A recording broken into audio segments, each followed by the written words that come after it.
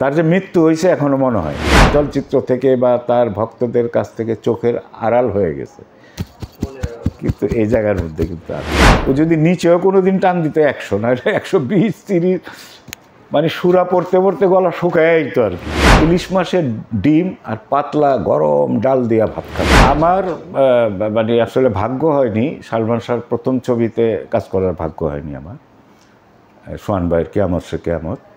তার পরবর্তীতে কয়েকটা ছবির পর পর টুকটাক আর সব আর্টিস্টের সাথেই তো কাজ করছি। তো না, তো অনেক সময় হয়। আর ওই সময়টার মধ্যে কিন্তু আমি মূলত মূল আর্টিস্টের চরিত্র খুব কম করছি।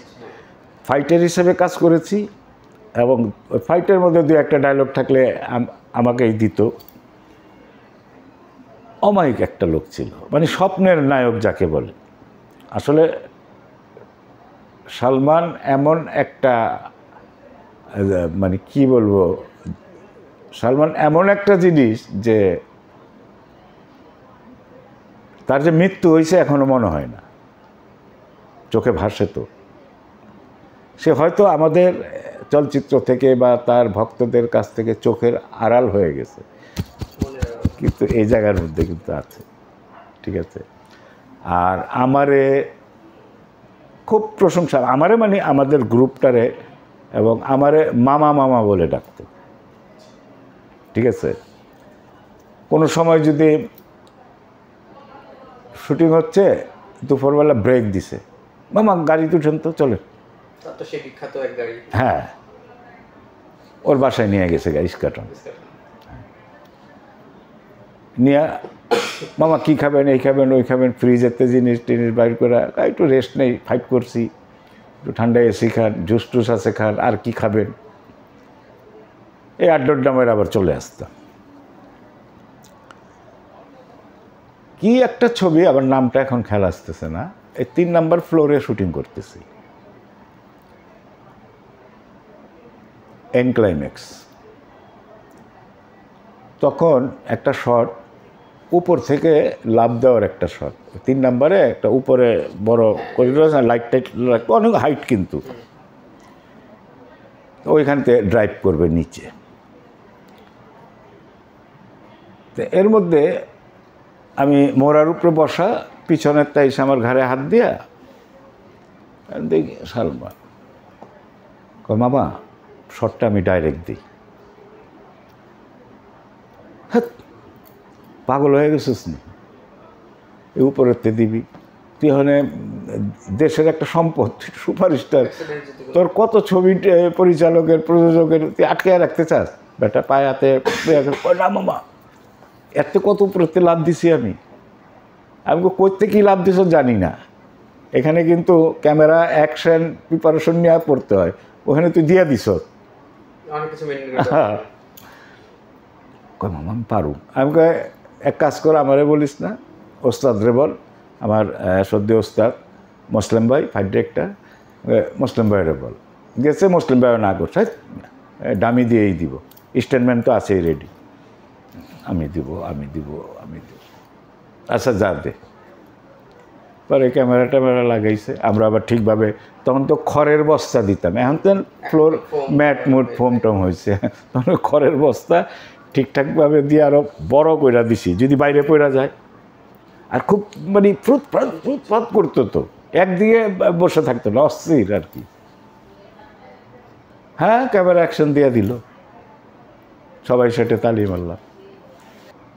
হাতটা ধরে আহেন, গাড়ি খুলে যে ওই গাড়িটা। বসেন।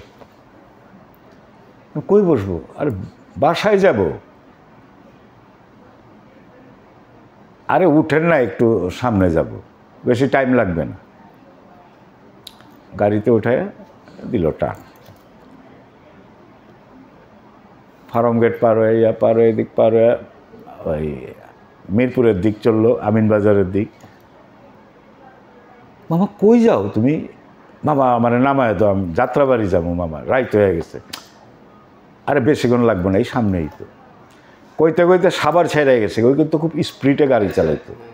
ও যদি নিচেও কোনো দিন টান দিত, একশো না একশো বিশ, তিরিশ মানে সুরা পড়তে পড়তে গলা শুকায় তো আর কি। সামনে বর্ষা। সাভার পার হয়ে জাহাঙ্গীরনগর বিশ্ববিদ্যালয়ে পার হয়ে সোজা যাচ্ছে, মামা আসলে কই একটু বলো উঠেই তো গেছি। অনেক দূর তো চলে আসছি। কই মামা, আজকে সারাটা দিন মনে চাইছে ইলিশ মাছের ডিম আর পাতলা গরম ডাল দিয়া ভাত খাব। এইখানে কই? কয় আরিচা আরিচা ঘাটে। আচ্ছা। এই আরিচা ঘাটে যায় এক হোটেলে এমনি ক্যাপ ট্যাপ পরা মাস্ক আমি তো আর ক্যাপ ট্যাপ নাই আমারে হোটেল বয়রা চিনছে আরে মামা অভিনয় করে এই সেই আমার খেয়াল করা হিরোরে দেখে হলাইছে। যাই হোক কইছে কেউ কোয়েটো না। তো পাটাটনের হোটেল তো। আরিচা হোটেলগুলো আগে ছিল না? হ্যাঁ। ওই বাস টাস দিয়া। হ্যাঁ। তো একটা কোনায় বৈশা আসছে ক্যাশের থেকে লোক আসছে কি খাবেন স্যার? সবচেয়ে বড় ইলিশ মাছের ডিম কয়টা আছে? কয় পাঁচ ছয় পিস আছে। বাইর করো। ওই হোটেলের মধ্যে কিন্তু আবার ডিপ ফ্রিজ থাকতো। আচ্ছা, হ্যাঁ। মাছ থাকতো এগুলো থাকতো। তো বড় বড় ইলিশ মাছের ডিমগুলা বের করল। বের করে ওইখানে ধুয়া টুয়া মশলা টসলা দেওয়া ফ্রাই করল। ফ্রাই করে বলল, ডাল না থাকলে ডাল পাকাও। কয়, না মামা ডাল আছে। তাহলে গরম দাও। গরম দিল ডাল, ইলিশ মাছের ডিম, পাতলা ডাল দিয়া মামু বাগনা খাইলাম। খুব খেলাম আমি একটা ডিম খাইছি। একটা ডিম বলতে দুই পিস আর ওই প্রায় ছয়, সাত পিস খাইয়ে ফেলল। কয়, মামা, সারাটা দিন মনটা ভৈরা গেল মামা। যাই হোক বিল দিতে আইলো, বইটা দশ হাজার টাকা ওই আমলে। আমি কই, কী দিতেছ? মনের তো বড় কিছু নাই মামা, মনটা ভৈরা খাইছি। খুব টানতেছিল যে আরিচা আইসা, আর আরিচার ডাল কিন্তু একদম পাতলা পানির মতন থাকে। আর খুব প্রিয় খাবার ইলিশ মাছের ডিম আর ডাল দিয়া। তখন মনে হইল আর কি। দশ হাজার টাকা দিল, দেয়া বাকি পাঁচ ছজন স্টাফ ছিল, ওদের আবার একশো টাকার বান্ডিল থেকে দুইশো দুইশো দুইশো দুইশো করে বকশিস দিয়া। এই যে একটা সালমান সালমান মানে তো যাতা ব্যাপার না, এত বড় একটা সুপারস্টার সে কোন হোটেলে যায় খাইছে? তার ভিতর কোনো হিংসা, বিবাদ কিচ্ছু ছিল না। কাছের থেকে দেখছি তো। এবং আমার চলচ্চিত্রে, আমার জানা মতে, সে অনেক ফ্যামিলিরে টাকা পয়সা দিয়ে সহযোগিতা করত। হ্যাঁ কার বাচ্চা স্কুলে ভর্তি করতে হবে, কার সংসারে টাকা নাই, কার বাড়ি ভাড়া জমা গেছে, নীরবে দিত। তো এখন এগুলা মানে কি বলব আর কি? যুগে যুগে আসে আবার চলেও যায় আর কি। সব সুপারস্টারের সাথেই, নায়িকা যারা সুপারস্টার সবার সাথেই তো করছে, তাই না? আপনি দেখেন সালমান এমন একটা হিরো ছিল যে আমাদের শাহনাজ ম্যাডাম নামে এক হিরোইন ছিল। সত্যের মৃত্যু নয়। মানে টাকার বস্তা নিয়ে প্রযোজক ঘরে গেছে। শাহনাজ। ঠিক আছে? তা আমার কাছে মানে ব্যক্তিগত হয়তো অনেকে আমার এই কথাটা শুনলে হয়তো খারাপ ভাববে না। আমার একটা মনের কথা থাকতেই পারে। আমার কাছে কেন জানি মনে হয় যে স্বয়ং বিধাতা সালমান শাবনুর জুটি হবে বিধায়ী এই বাংলাদেশে, এরম একটা জুটির সৃষ্টি হয়েছিল, সালমান আর শাবনুর। সালমান শাবনুরের যতগুলো আমি দর্শক হিসাবে বলি, ছবি দেখেছি মানে ছবির ভিতরে চলে যেতাম, ওদের যখন রোমান্টিক দৃশ্যগুলো থাকতো, তাদের চোখের খেলা তাদের চাহনি তাদের মায়াবী চেহারা যে যে সময় ডিরেক্টর চাইছে ওইটাই আমার মনে হয় যে ডিরেক্টর বলে না। হ্যাঁ যে ডিরেক্টর বলে না বাবা তুমি একশোর মধ্যে আশি দিও এটাই আমি খুশি। না তারা একশোর মধ্যে একশো বিশ দিছে।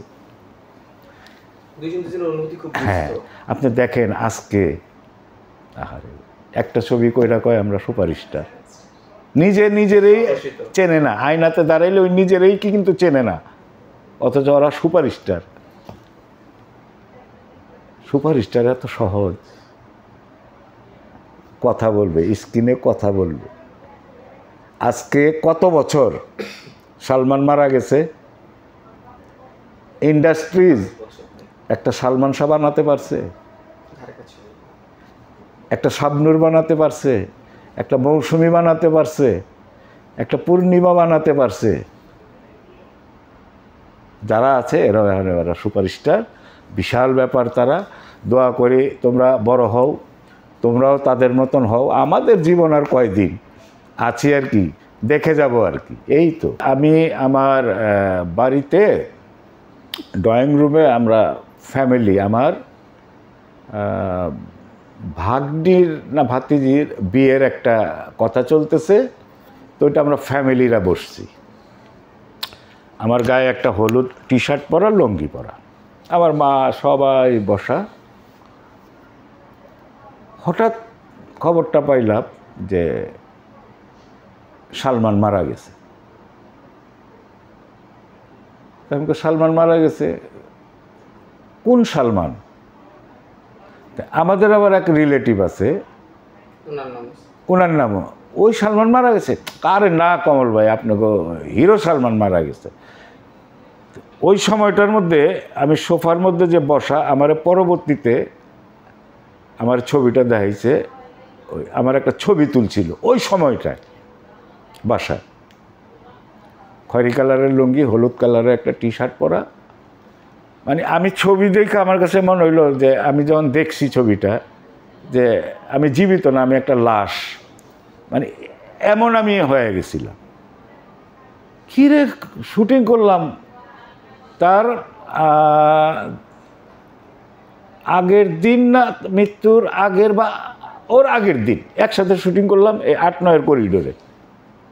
মজিবর ভাইয়ের ছবির শুটিং। মজিবর ভাইয়ের নামে এক ডিরেক্টর ছিল আমাদের। এখানে ববিতা আপা ছিল সালমান, ওর সাথে আমরা এইখানে শুটিং করছি ফাইট করছি। হ্যাঁ হ্যাঁ কী করে সালমান মারা গেল। আমি বাড়িতেই বের হইনি তিন চার দিন।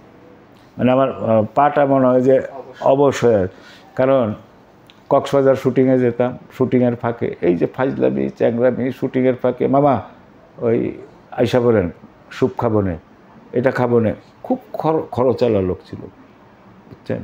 হার্ট খুব বড় ছিল। তো এই যে লাইফের এগুলা এখানে কি বলব? আল্লাহর কাছে নামাজের সময়ও দোয়া করি, সব মৃত্যু ব্যক্তির নামে।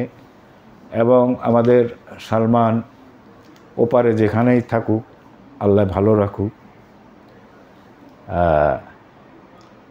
সে জান্নাতবাসী হোক, এই দোয়াই করি আর কি। আসলে মানুষের ভেতরের খবরটা তো জানতাম না, উপর থেকেই আমরা দেখতাম। আর খুব আনন্দ ফুর্তিভাবেই কাজকামগুলো করতো, যে তার ভিতরে কোনো দুঃখ আছে বা কিছু এগুলো তো আর বুঝতে পারতাম না। এটা একমাত্র সৃষ্টিকর্তাই জানে তার মৃত্যুটা কীভাবে হয়েছে। আর সালমান যদি আত্মহত্যা করেই থাকে এইটা, সে তো আত্মহত্যা করে চলে গেছে দেশ জাতির সাথে সে একটা বেইমানি করে গেছে।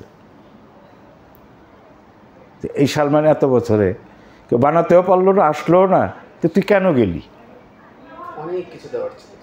তার অনেক কিছু দেওয়ার ছিল না। বহুদিন আগে আমি সিলেট গেছিলাম তার কবরও জিয়ারত করে আসছি পাহাড়ের উপরে। হ্যাঁ, আউলিয়াদের সাথে তার ইয়া হয়েছে এই ভাগ্য আর কজনের হয়?